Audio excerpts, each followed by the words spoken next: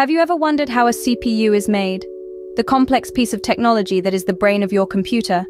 Today, we'll journey through the intricate process of how these technological marvels come to life. The process begins with a simple, yet essential element.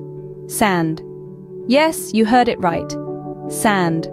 Sand is rich in silicon, the base element for most chips due to its excellent semiconductor properties.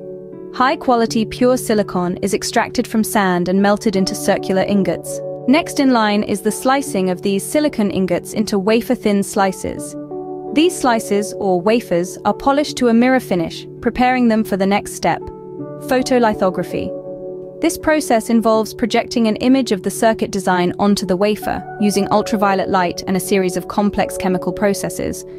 The result is a patterned silicon wafer.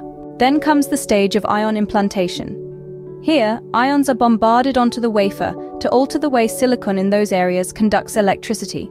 This creates the N and P areas of a transistor, the building block of CPUs. After several rounds of photolithography and ion implantation, layers of metal are deposited onto the wafer.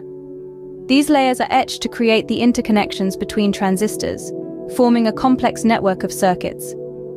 This process is repeated multiple times to build up multiple layers of circuitry. Once the wafer is fully processed, it is cut up into individual chips, each one a fully functional CPU. These chips are then tested rigorously for functionality and performance. The working chips are packaged into ceramic or plastic cases, ready to be installed into a computer, and there you have it. The meticulous journey of sand becoming the brain of your computer, the central processing unit. To recap, the process of CPU manufacturing starts with the extraction of pure silicon from sand. This silicon is formed into ingots, which are then sliced into wafers. The wafers undergo photolithography to imprint the circuit design and ion implantation to create the transistors. Layers of metal are added to create the interconnections, and the wafer is cut into individual chips. After rigorous testing, the functioning chips are packaged, ready to be part of a computer. This intricate process is a testament to human ingenuity and the relentless pursuit of technological advancement.